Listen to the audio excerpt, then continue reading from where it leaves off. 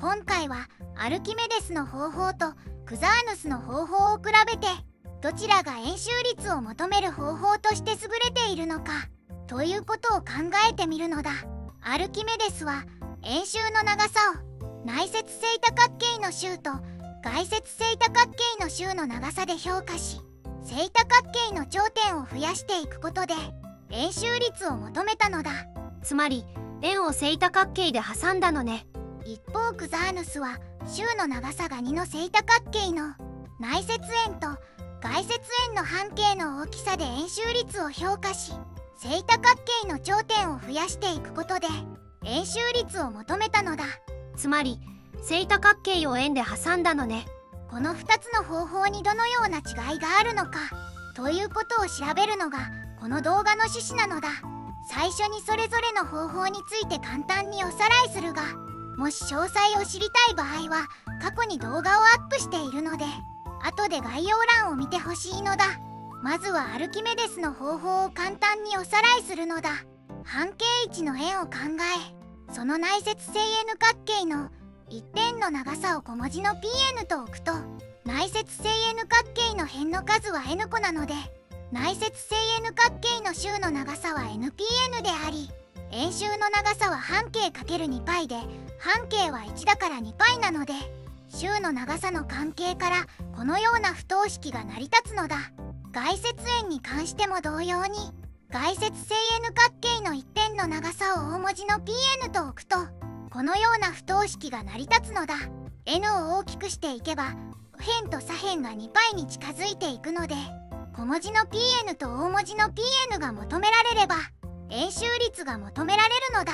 アルキメデスは小文字の p に n が小文字の pn の式でこのように表されること。大文字の p に n が大文字の pn でこのように表されることを示したのだ。そして n イコール6から始めて n イコール96まで計算して円周率がほぼ3.14であることを示したと言われているのだ。ルートの計算が多くて計算が大変そう。一方クザーヌスは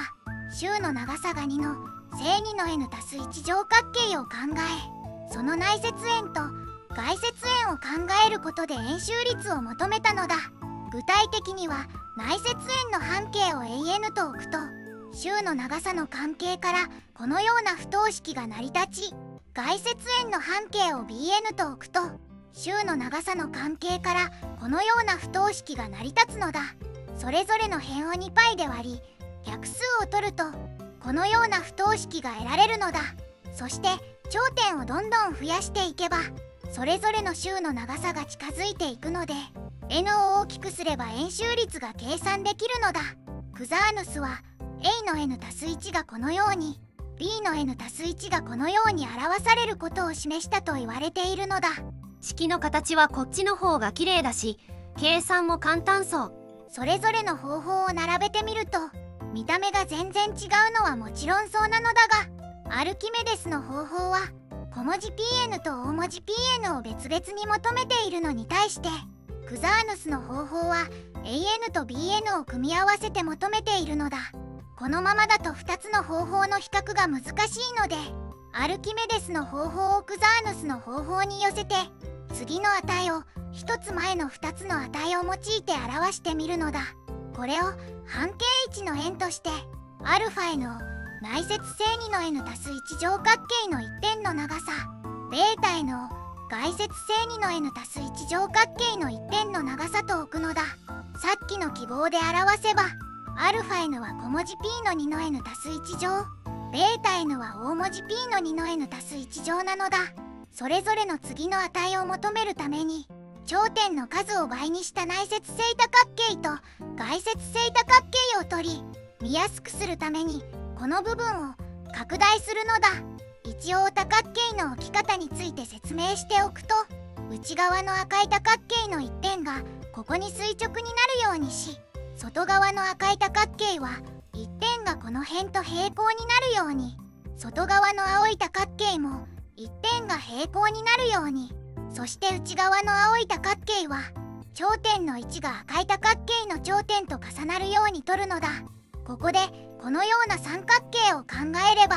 これは二等辺三角形なので内側の青い正多角形の頂点がこの線上にあるのだ。長さについてはここは円の半径なので1ここは内側の赤い正多角形の1点の長さの半分なので2分の αn ここも同様に1点の長さの半分なので2分のベータ n ここは内接正多角形の1点の長さなのでアルファの n 足す1ここは1点の長さの半分なので2分のベータの n 足す1なのだ。さてこれらの長さの関係を求めていくのだ。中心と内側の青い正多角形の頂点を線で結ぶとこの三角形の底辺は正2の n 足す2乗角形の1点なので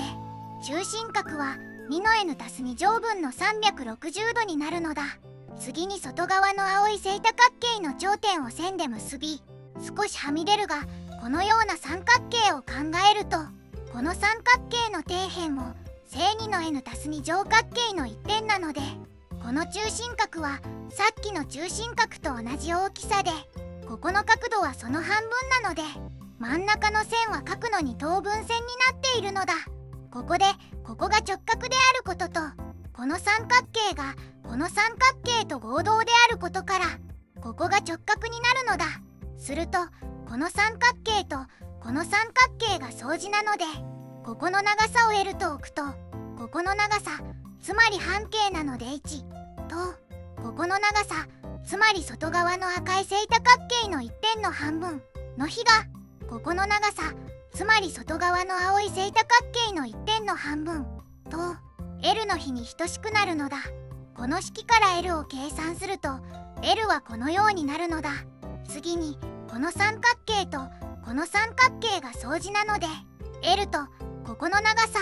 つまり外側の正多角形の1点の半分の長さの差の比がここの長さつまり内側の赤い正多角形の1点の半分とここの長さつまり半径なので1の比に等しいのだこれから L を計算すると L はこのようになるのだこれで L が2つの式で求められたのでこれらが等しいことからこの等式が得られるのだこれを β の n 足す1について解くと計算は省略するがこのようになるのだこれで β の n 足す1が αn と βn で表されたのだ次に このように線を引くとこの線が書くのに等分線になっていることとこの2辺の長さが円の半径なので等しいことからここの角度は直角になるのだ。よってこの三角形とこの三角形が相似になるのでここの長さを L 出しと置けばこことここの長さつまり内側の青い正多角形の1点の長さの比がここつまり1点の長さの半分とここ。つまり半径の長さ1の比に等しいのだ。次にこの三角形とこの三角形が相似なので。この三角形はこの三角形とも相似なのだ。よって L とここ。つまり内側の赤い正多角形の1点の半分。の比がここ。つまり外側の青い正多角形の1点の半分。とここの長さ。つまり半径なので1の比に等しいのだ。この2つの比から得るダッシュを求めるとこの値がこの値に等しくなるのだ。両辺を2倍してルートを取ればこのようになりアルファの n たす1を求める式が得られるのだ。この2つの式を合わせればアルファ n とベータ n からアルファの n たす1とベータの n たす1を求めることができるのだ。なんとなくクザーヌスの式に似てるわね。それはそうなのだがクザーヌスの式と比べるにはもう少し式変形が必要なのだ。2つの式は上に置いておくとして αn と βn は正2の n 1乗角形の1点の長さなので円周の長さとの比較をするとこのような不等式が成り立つのだ。それぞれの辺を2で割って左辺を an 右辺を bn と置くと a の n 1は上の式を適用してこのようになり前の2の n 足す1乗をルートの中に入れて αn と β の n 足す1に適当に割り振るとこのようになるのでこれを計算するとこのようになるのだ。A の n 足す1が AN と B の n 足す1の相乗平均になるのね。次に b の n 足す1を計算すると上の式を適用してこのようになり2の n 乗を適当に割り振るとこのように表せるのだこっちはクザーヌスと違って相加平均にはならないのね。以上をまとめるとこのようになるのだ。クザーヌスの方法と比べると AN の方は相乗平均だから一緒だけど BN の方は相加平均じゃないからそこだけ違うわね。実はこれは AN と BN の調和平均と呼ばれるもので AN の逆数と BN の逆数の平均のさらに逆数を取ったものなのだ。よって A'(n) を AN の逆数 B'(n) を BN の逆数とすると A'(n) 足す1は計算するとこのようになり B'(n) 足す1も調和平均の逆数であることからこのようになるのだ。調和平均が相加平均になったわね。以上の結果を並べて比較すると A と B が逆であることを除けば2つの方法は一致することがわかるのだ。ただし初期値についてはまだ計算していないので最後にそれが一致することを確認するのだ。